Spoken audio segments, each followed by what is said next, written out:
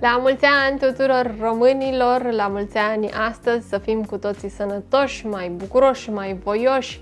Și cred eu că ar trebui să începem să ne schimbăm cumva uh, modul de a privi România și românii, să învățăm uh, că avem uh, să ne informăm și să învățăm că avem foarte multe calități și foarte multe lucruri pe care trebuie să le apreciem la țara noastră și la românii noștri. Uh, România are uh, multe lucruri cu care se poate uh, mândri. Sunt și emisiuni pe care le-au făcut diferite televiziuni cu lucrurile importante din țara noastră, cu românii care au reușit, cu cei care sunt valoroși, care ne duc numele mai departe cu mândrie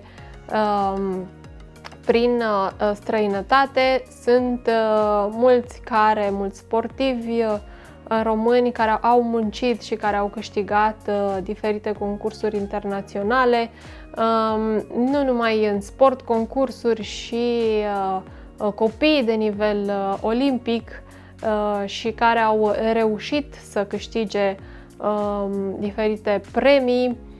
Sunt multe lucruri cu care România se poate mândri Uh, cred că trebuie să le descoperim sau să le redescoperim, să le apreciem mai mult, căci dacă noi le vom aprecia și le vom prezenta copiilor noștri și tuturor în jurul nostru ca fiind valori, atunci sistemul de valori practic se va schimba.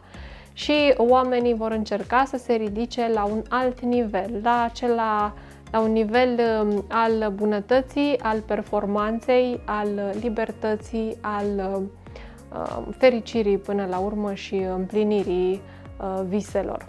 Vă pup, dragi prieteni! La mulți ani, România!